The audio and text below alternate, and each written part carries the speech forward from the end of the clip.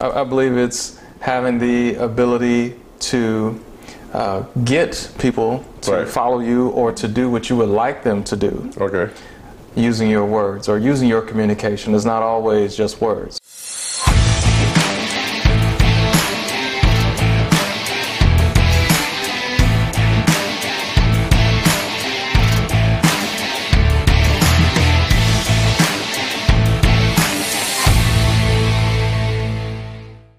Hey, what's up, folks? Granison Shines here with Seduire International, and welcome to today's conversation regarding influential communication. And with me, I have to my left Miss Yasmin Murray.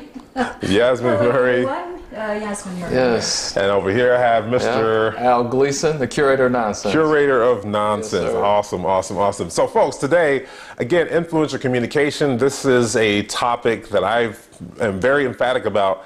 And I feel that if you are a leader, if you are an entrepreneur, and we're going to be talking about it from all those different perspectives, even if you are a, a career professional, influencer communication is something that you uh, should aspire to learn how to do any position, or even a parent. Let me put that out there. If you're a parent, being influential with your children and other parents that you're working with, whatever leader you're, whatever capacity in which you're a leader, from the home ecosystem to the work environment ecosystem, influential communication is important. So let's talk about it in depth now. So Yasmin, coming to you first, ladies first. Influential communication. You know, I want to read the definition of influential communication. Okay, So go ahead and read the definition. is. Okay, so the definition is persuasion and influence as a competency is the ability to convince others to support an idea, agenda, or direction. Sometimes we refer to it as strategic influence. Okay. That says it all. So what does that mean to you? It means to me having the power of words to influence others so they follow you. Okay, all right, all right. I And like you, that sir? definition. Uh, mine would be similar. I, I believe it's having the ability to uh, get people to Right. follow you or to do what you would like them to do Okay, using your words or using your communication is not always just words. true. It could be we like to dress a certain way. Right. That influences the environment that we're in. This is true. The Very way true. you talk, you know, you're in an environment where somebody uses a lot of profanity, then it makes it okay for a lot of people to use profanity. Right. If you use none, people automatically feel guilty about using it a lot of times. So I think it's I think that's what it is in a nutshell. It's all communication, but having the ability to get people to do what you want them to do uh, through your communication. Awesome, awesome. There's a term that I used to hear more so when I was younger called silver tongue. You ever heard of that? silver tongue, Being yes. silver tongue or golden tongue. Uh-huh. Silver tongue, golden tongue. I I feel I like that term only because and I and I liken it well, it's actually different from being kind of like the snake oil salesman to me. Right. Both of those people are very, very slick in their, their conversation. The Yes. used car salesman, right? Right. People walk away with cars that they didn't really mean to buy because of his influential communication, right? Yes. I've heard it all the time. I used to work at a car lot, so I know. Yes. So, golden tongue or silver tongue, I like the term because it really gives this, to me, it paints the, the idea of someone who's a very strong orator. Mm-hmm. And being an orator, and we speak a lot, you're a speaker, you're a speaker, we're always speaking on stage, host events, and everything else. It's really important for us to know how to be, quote, silver tongue, but not in a manipulative way. Correct. So when you hear the term silver tongue, what comes to mind for you? Well, it, it comes what comes to mind is embellishment like silver shines, words that embellish, Okay. that that shine, that attract other people. Sure, okay. It's more of attracting other people to do what you want them to do. Right? We're, we're about you? definitely attracted to shiny things, right? So Shiny object syndrome. yes, I know I am squirrel. Squirrel. that was right there. Yes. I think, uh, I guess to, to add to that, sometimes embellish has a negative uh, connotation, I think. Right. So I would say embellish, but in a positive way. Maybe it is, it is being clear about the benefits mm-hmm. of, a, of a particular situation or circumstance so that people understand it. You know, it's a trend now in marketing. Right. You give a bullet point for every little thing that you possibly can to embellish mm-hmm. all the benefits Sure. you know that are there. So I, I think that's that's that's what it is. Being able to, um, you know, somebody who has that ability to sell you on the benefits of Right. whatever they're trying to get you to do. Sell on the benefits. We'll talk about that because we have a seven step process that actually is one of the steps of the seven steps. Selling the benefits, always selling the benefits. Yes. Yasmin, when, we, when it comes to influencer communication mm-hmm. and when it comes to manipulating, what's, the, what's a, a difference to you that you can explain to our audience? Manipulation is when it benefits you. Okay. And what was the first part of the question? Like, what's the difference between basically, Well, what, why was it different between influential communication yeah, and. influencing is to have, them, have them do something that benefits the humanity. That's that's what you know. I think, and also themselves. Manipulation is when it only benefits the person that's manipulating. Okay. Yeah, I think I think manipulation is another one of those words that has negative connotations, right? Sure. So, with that in mind, I would say uh, influencing people definitely is it's a way to get people to act in truth and honesty, using truth and honesty, Right. and being uh, upright, even though that can be, you know, it's not always the case, but at least it's always presented that way. Right. Where manipulation, a lot of times it deals with deception. It deals with uh, taking advantage of people. Right. So, influence definitely is, is positive, benefits all, versus manipulation. You know, you're taking advantage of people. Yeah, yeah. I, I think that I like both of your de- your definitions regarding that. I think manipulation. You start playing these head games with people to Yes. try to get them to do something that, again, like you said, is going to solely benefit me. I'm going to manipulate this person to do this because I want this. It's all about that person instead of, or me instead of the other person. It being the mutual benefit. So I, when I think of influential communication and we're talking to people let's say whoever is on the stage and they're talking to people regarding their product or service. They did a speech and now they're starting to sell. And then i've heard people say oh he's here he comes to sales and he's going to manipulate us into buying his product. Well more influence because you don't want you don't have to buy it but two if you do get it it's most likely going to be beneficial for you Right. or the person who's buying the purchaser and it's going to be beneficial for the person who's selling it as well from a financial standpoint. But also he gets his message out there and he gets to help somebody. So i think influence for me is definitely the difference of the the intent behind Yes. the conversation the intent behind the conversation. So that being said, folks, remember to go to our YouTube channel if you're watching it somewhere else. Go to youtube.com forward slash Seduire International. If you're watching it right here on the channel, click the subscribe button. Make sure you hit the notification also so you can get the notifications when we upload new videos. We do a live broadcast every Wednesday and we also post every Friday. So that being said, let's dive into the conversation about the process. Yes. First step of the process. Now, folks, we have again seven steps. First step of the process is create rapport. So, talk to us about creating rapport. What's the nuances of that? Well, first of all, you're meeting a total stranger. If you want to influence them, you've got to get to know them. Okay. Know, get to know. What if it, well, talk, well, what if it's about those people who are in an office environment and it's not a stranger? Does it still apply? Of course. Okay. Of course, the more relationship building there is, the more apt they are to do things for you because they like you. People, we've talked about that, work for people they like and trust. You have to earn their trust and they have to like you in order for them to be influenced by you Okay. or to accept you as a leader. So whatever you say, they will do. But if somebody doesn't like you, you haven't built rapport, you hardly know them Sure. You know, why would they even? I mean, take example of the po- uh, politics right now.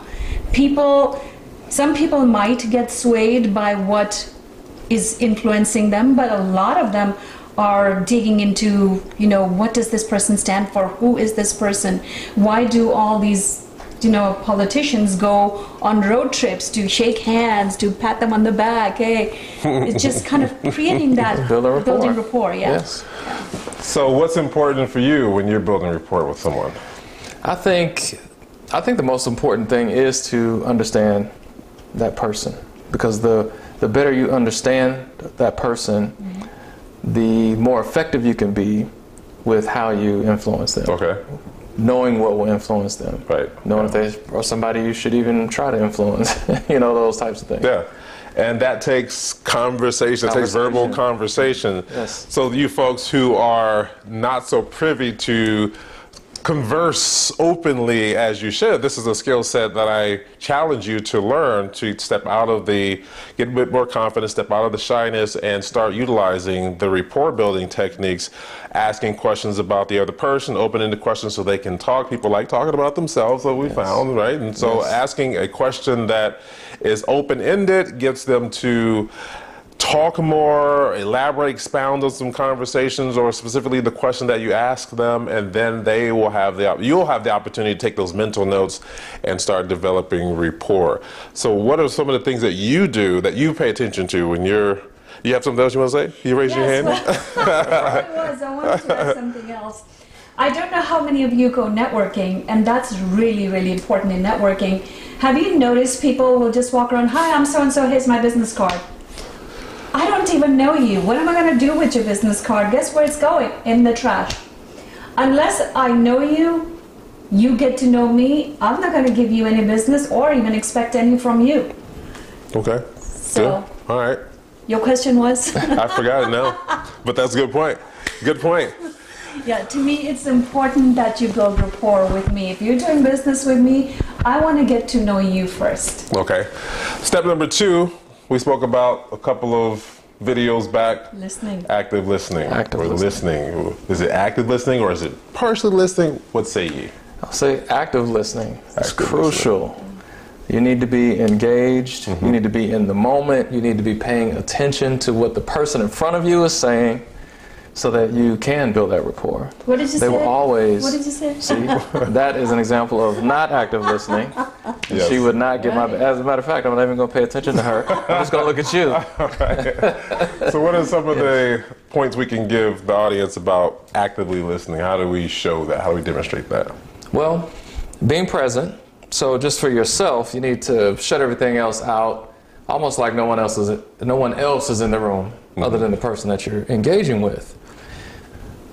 Repeating what they say, ask questions to verify what they said mm-hmm. is a good way. Right. Mirroring is another technique is a good that you can do. If somebody changes their stance, you change your stance to, to mirror that. Right. So those are two two big ways I would say. Nodding your head, What about you? Nodding your head, yes. Okay. making eye contact, Yes. Okay. smiling at them, Right. Right. all of that. Now, I've been there. There have been times when someone's just kind of talking, and I know that I was kind of doing those things, but my mind was like somewhere else. So, folks, if when that happens, make sure you reel it back in. You got to have self control Self-control. over the imagination and the mind during that time because sometimes people can just elaborate and start talking, and it's like, and you're thinking, what is this person talking about? And I need to go, and your mind starts going, so floating off somewhere else. I've been there, done that. You ever done that before? No, yes, no, no, yeah, no. No, Oh, okay. I I'm like have. about to tell me something else. Well, I've never done that. That's manipulation. No, God, no, I have done it. And you know, when I feel like somebody else is doing it to me, right? Uh-huh. I'll say, So, what do you think? That drifts, And then drifts. like- away. Oh, Uh, could you repeat that, please? have you done that before?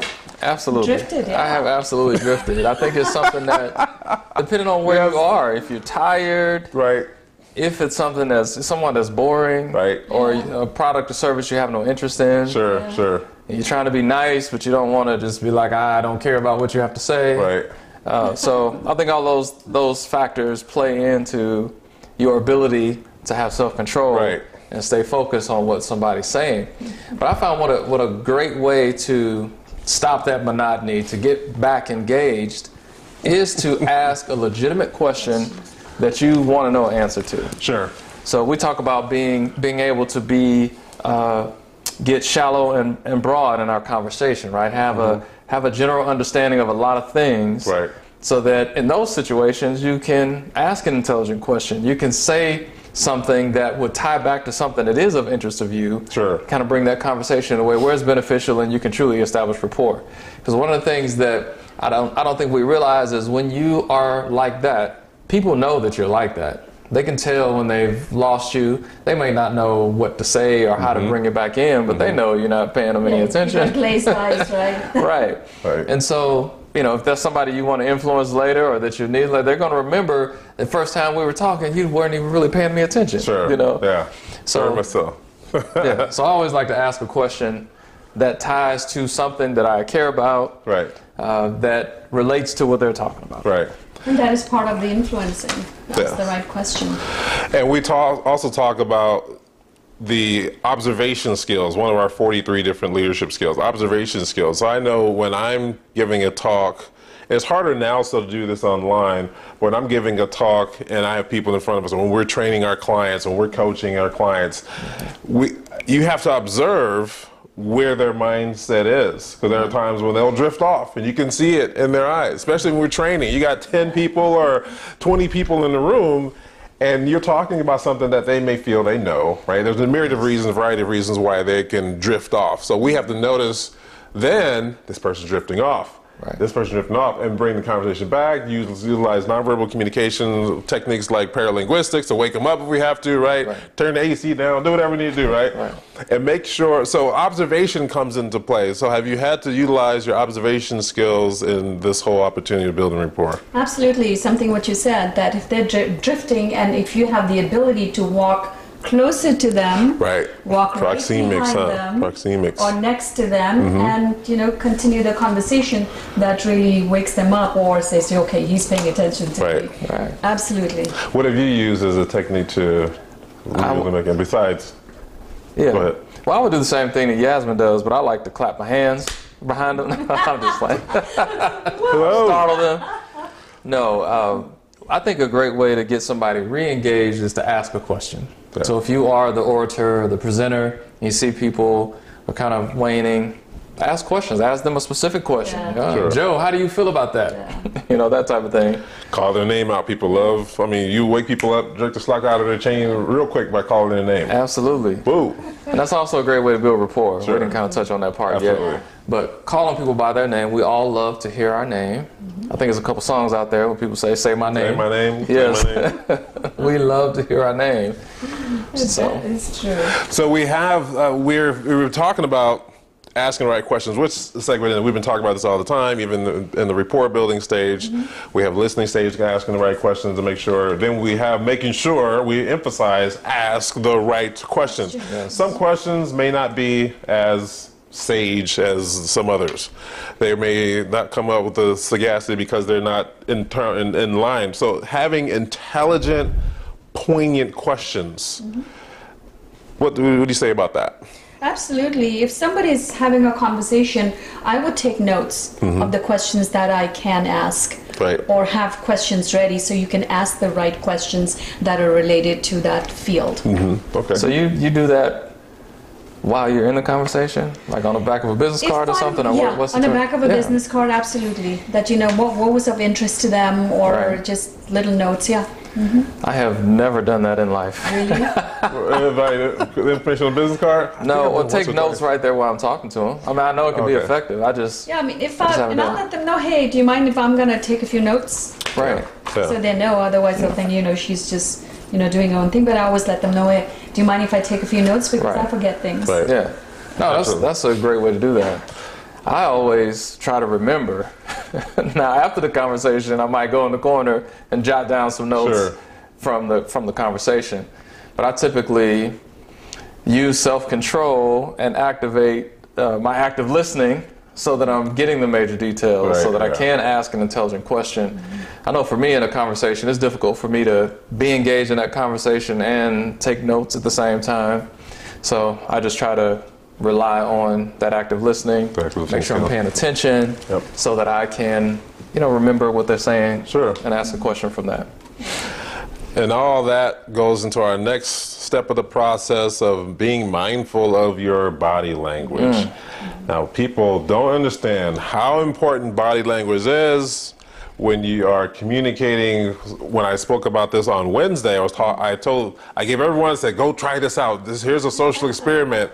And I told them next time, talk to someone with your take notice with your shoulders square off and then while the other then when they, that's when they're talking and then when they're talking again turning and see how long the duration of the conversation lasts as far as them making their point. I've noticed that in experimenting with this, that when body language, we square off, and then we'll talk about the importance of body language. Yeah. Square off, they can they'll elaborate a longer period of time about that specific thing that we're talking about. Mm-hmm. But then if you turn a little bit, the shoulders are not square, you turn your head a little bit, then they'll give you shorter answers because they're seeing they're seeing that you're not interested. Mm-hmm. It's an automatic thing that we do, and so yeah. play around with that, folks. Get understand how understanding of how to utilize that. So body language. Yes. Important, not important. What should listeners be paying attention to when they are listening? I don't remember the exact statistic, but 70, 80, 90%. Actually, I think different people say yeah, different things. Exactly. Uh, but we'll say 70, 70 to 90% of all communication is nonverbal. Nonverbal, yeah. Body language is a big part of that yep. when you are engaging with somebody. Sure. And some of the simple examples you think about I don't know, maybe talking to your kids, for those of you who have kids, you know, if they're slouched down, or if you if you go somewhere, right. you can go out. You're not talking to to, uh, to the person, but you see if they're slouched versus sitting upright, or uh, you know, if they look worried or stressed. No one's exchanged any words. Yeah. But the body is communicating loudly. It's screaming, "I don't feel good," or "I lack confidence," or "I don't want to be here."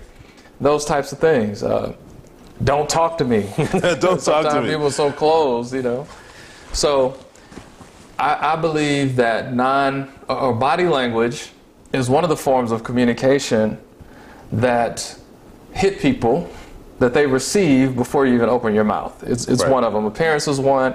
Body language is probably second. You know, mm-hmm. and uh, so it's so it's critical. It could it could ruin your chances to be able to influence people before you even open your mouth. Very true. Very true. Absolutely. I love that. What do you say about body language? So, something, the body language, what comes to mind, I know there have been instances where earlier on in my career, if there was something I wanted to say to my boss or ask my boss who's busy doing something else, and as I got coached, I realized that there are certain things you have to do to have other people pay attention to you. Number one, set a time. Do you mind? Do you have 10 minutes for me? What is a good time for me to talk to you because there's something that I need to to talk to you, have a conversation about. And once you do that and you're having that conversation, when you walk in, well, thank thank you for your time, and you sit down. If they're still busy on the computer, you know, kind of gently, do you mind? You know, this was our time. Could you please give me one-on-one attention because mm-hmm. this is important to me. Right. Make sure you bring it to their attention how important this conversation is that you're about to have. Right. Sometimes you just have to demand it. Even in, in seminars or webinars, you know, we always say, hey, turn your phones off, make sure there's no distractions. You're still trying to tell them, hey, what I'm about to say is important, so shut everything else out, um, out and just listen to me. Pay attention. If you need to take notes, do so because I know for me, writing notes, it's important because that's how I remember. So that's how you influence people is by making them realize that what what you're saying is important mm-hmm. and they need to pay attention. Mm-hmm. Okay, yeah, I, I, I like that. And body language is again, like Al said, 70, 90%, depending on the study you read, it's, it's very high. All of them I've read are over 50%. I've been over yeah. 70%, as a matter yes. of fact. I've been over 70%, 70% uh, higher, like I was talking about. And to your point, making sure that you utilize certain gestures in order to capture someone's attention. So, facial expressions, when you're talking to someone, when I'm talking to someone, there are times when I have to be mindful of my facial expression because they may say something, and we have these little micro expressions that show up really quickly. And when someone's talking and you have this expression that comes upon your face, they'll see if they're looking at you in your eye, they'll see that, and they may see that you're thrown off about what they just said. Therefore, you stop the rapport building process. Now that they're thinking, okay, this person doesn't believe me, or, or if you're sitting there and you got your lips turned while you're talking, right. you're like this. They're like, whoa, wait, wait, wait, why you doing? That's not a rapport building technique. So smiling, utilizing your facial expression like that, nodding the head, the gestures. Body language, of course, making yes. sure it's pointed towards them and not uh, uh, uh not angled away. Appearance sets the tone. You set the tone, or you can and should set the tone with your body language before you start the, being influential. And then when you're in the process of talking and collaborating and expounding on different to- technique or topics and just going deep into the conversation, then it's all about paying attention to what you're going doing. And all of this should gel together with the verbal communication, with your confidence, with the nonverbal communication. Next step in the process is selling the benefits. Now, when I think of selling the benefits, whatever the subject matter is, mm-hmm. It always has benefits. And then for us to be influential, if we can align ourselves. When I say ourselves, if I can align the person and myself align with the benefits, then that helps me to gather or to generate the rapport, develop the rapport even more so. What do you think about the selling benefits aspect? What can you say to our audience? Absolutely. We, we talk about the active listening, for Mm-hmm. an example. When you are going to sell benefits, that's when that active listening, you know, will be helpful. Yeah, uh, really sure. critical. If you are, uh, if if there's an individual that's 90 years old, uh, they are wheelchair bound, and I'm trying to sell them on the latest, um, you know, basketball shoes. These latest, you know, the super. They make you jump high. You know, your, it'll increase your game.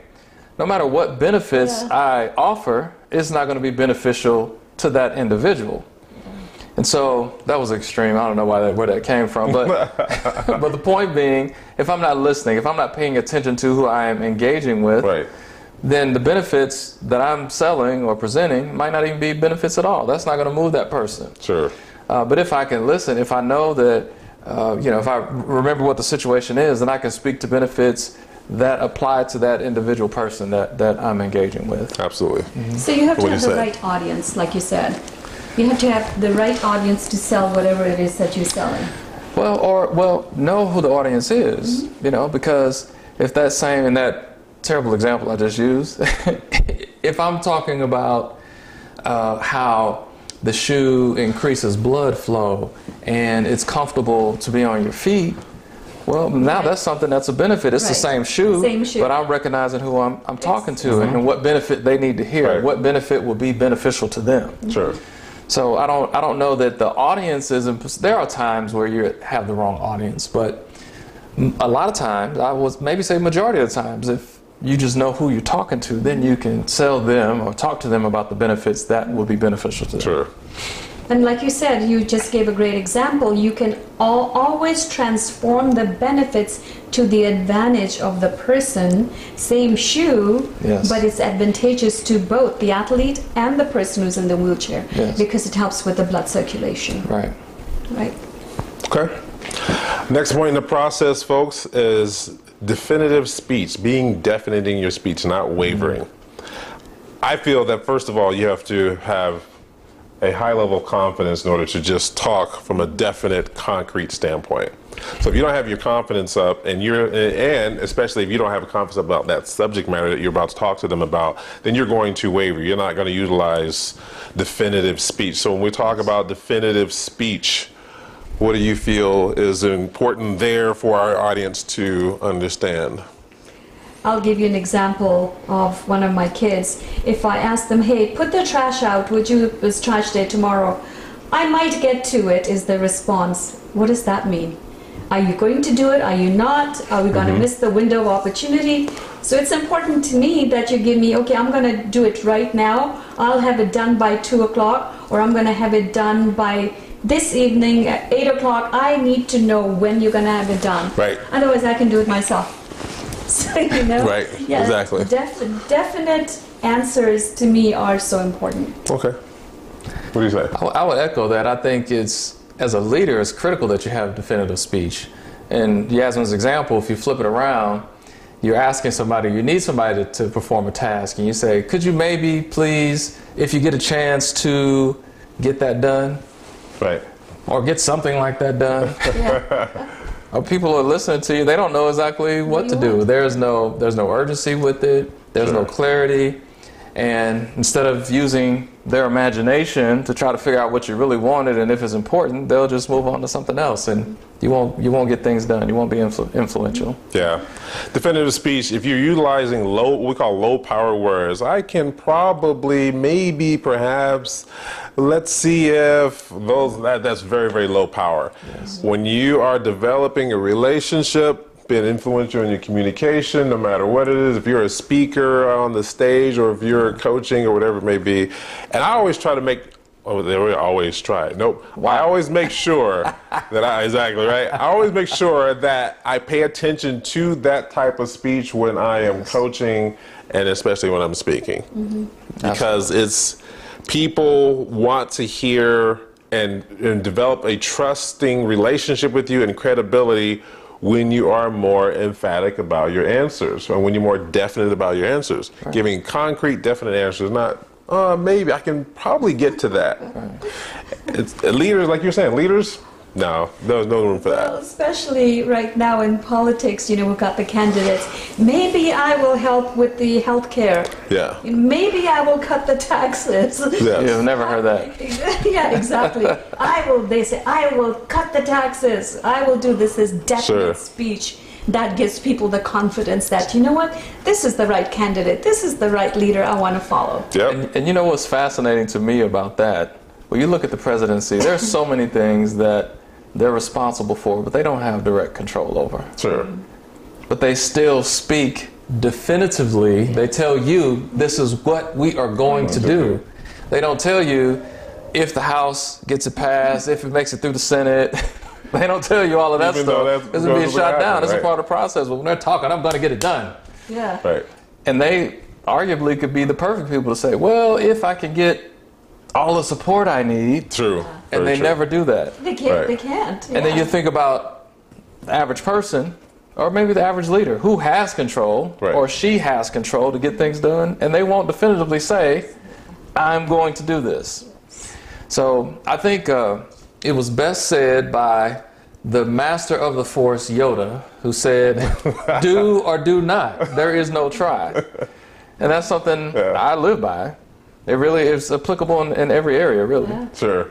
No, that's I like those words of Master Yoda. That's Yes. awesome. That's awesome.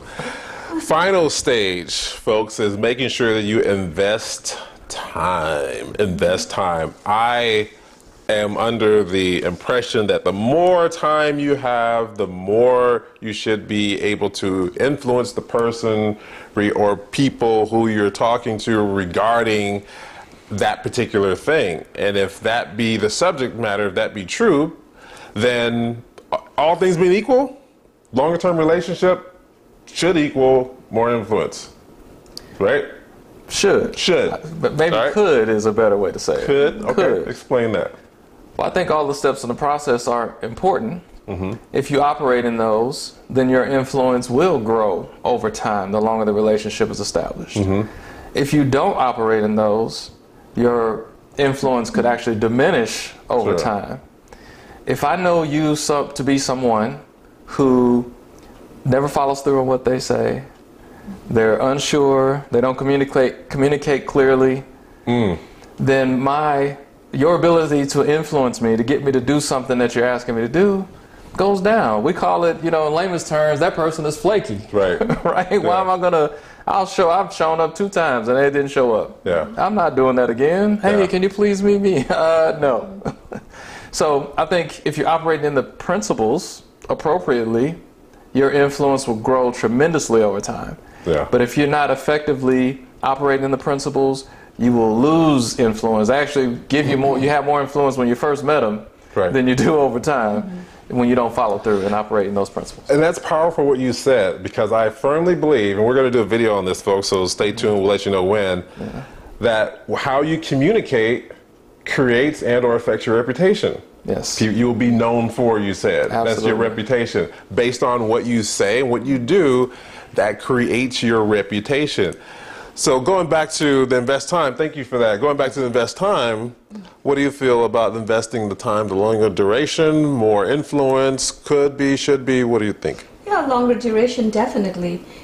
I mean, in every aspect of, of um, our lives, Mm-hmm. whether uh, if you're recruiting someone or you're soliciting business to business relationship, Right. even when you're dating. You know, you can't. Uh, I, I know it could be, you know, the one night and you say, well, this is the person I want to be with, and then it bombs. But to me, just kind of nurturing that relationship before you develop some expectations from that person and then bring that person into your life um, that's how I operate. I mean, every time I've recruited someone for my business or uh, in a relationship, it's it's cultivating your your um, principles, Sure. like, like um, Al said, and operating with with those principles. Right. That you know, does that person have the same values? Right. So definitely. Okay, I, I like that. I like that. One, th- one question I thought about while you were talking was do you need the authority in order to have the influence? And how do they differ? Do you need to have the authority in order to have the influence? Like, for instance, if I'm a parent, I should have influence over my kid, especially as they're growing up. Should, because some parents don't.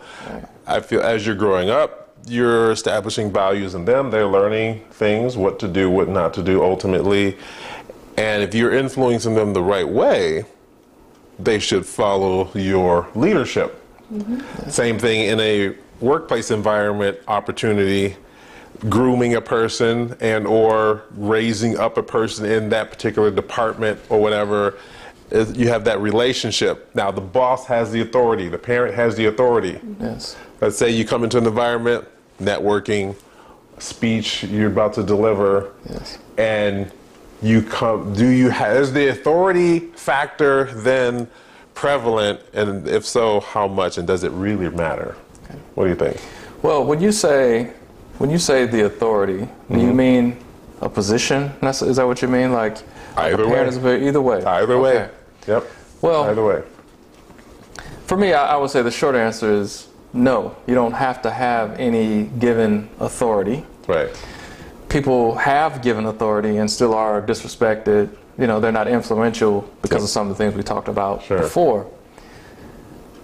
Steve Jobs said the most influential person on the planet, the most powerful person on the planet is the storyteller because they speak with conviction, they set the tone, they cast the vision. Mm-hmm. And so, with that in mind, you can walk into a room and have conviction, speak with clarity and conciseness, and you know some of the, the C's of communication that we talk about, and automatically get influence. It doesn't matter what authority was was given. right When you're confident and know who you are, you walk into a room, you automatically have influence. Mm-hmm. We talk about the nonverbal i like communication. that i like that If you're if you are dressed a certain way, there's a certain amount of respect that's given to you. Right. And uh, we all we all dress well, so we've all experienced this. But you could be in you know shorts and a t-shirt, and people don't pay you attention.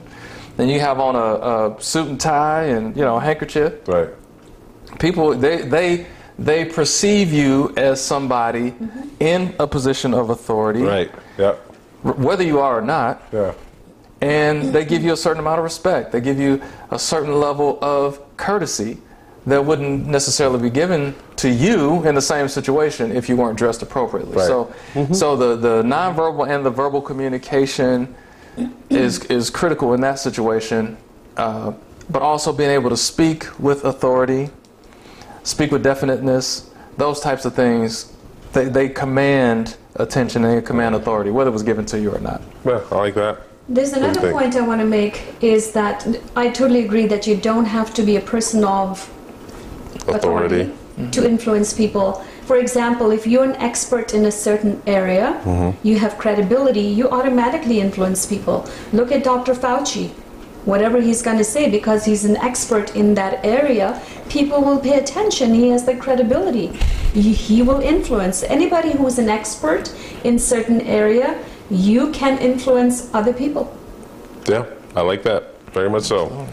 We are in an election year. You brought it up a little bit earlier about the candidates. You said something about the candidates. Yes. They've had a certain amount of time to be influential people, ask them questions. They're on TV d- trying to develop a rapport with a massive number of people, and they are also to, uh, putting out information and the questions that they're asking of the people. They're trying to sell themselves on the benefits. To me, that this is all influential communication. All the steps are there. What do you think about that in terms of? I agree. I, I think politicians are masters of communication, at least at the highest level. Mm-hmm. They're masters of it. They have coaches that coach them on what to do, how to say it, how to speak speak clearly and concisely, Right. how to speak definitively, typically how to uh, Present engage, themselves, present yeah. themselves, dress a certain way. Right. All the things that we teach and talk about, uh, they're they're coached on, and they they do it well. And evidence of it is the millions of people that tune in, the millions of people that go vote, the fact that they were Yep. elected or se- selected to those various high positions. So it's absolutely uh, influential communication, everything that they do. Yeah. What do you think? I would say not only just the politics, look at the influencers on Instagram, on Facebook, these people who influence you to buy certain products. You follow them blindly because the, the way they communicate, the way they say, or they're dressed, or the way they look, it's all of it. It's a total package Right. from, from your physical self to how you speak and how you conduct yourself, Sure. and more so how you present. How you present yourself? Yes. And the, the storytelling in both Yes. of those instances. Yes, you know, they have a story, they have Yeah. a narrative that they continue to repeat Yeah. and people can identify with. This political season, we're seeing it maybe more than we have in, in the last several elections where people uh, are identifying with certain themes Yes. that maybe we haven't seen them uh, come out the woodworks Yeah. like they have. And so, uh, yeah, so it's definitely a big, big part of that. and even trying to be aligned with certain people who have had trauma in their family matters. They're lining themselves up with them and supporting them, mentioning them, and bringing them on television or pointing them out in the crowd. Just developing that relationship, being influential. I'm sorry? They're bringing out the emotions. Yes, bringing out the emotions, of course, of course. So, final thoughts on influential communication. I believe it is a critical skill to learn to live a successful life if you want to be in control of your life. Whether it's parenting, whether it's work, whether it's play, really. Right. You don't want to be the guy on the court that never gets the ball. Right, yeah, You know? true, true. Uh, in every area of Like that. life, you being influential is critical for your success. Please. And I would say, used appropriately, you can change the world. That's powerful. Yes, you can. Use it properly. You can change the world. Start with one person and branch all out to everyone else. Hey, folks, this is Granison Shines. I want to thank you all again for watching this video on influential communication.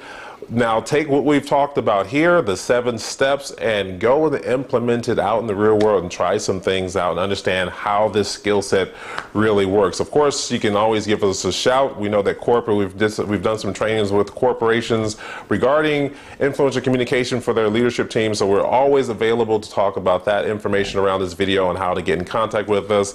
I'm Granison Shines, and I'm here again with. Yasmin Murray, thank you for watching us. Yes. And Al Gleason, curator of nonsense. All right, folks, thank you very much. We'll be back later on. Thanks. Bye.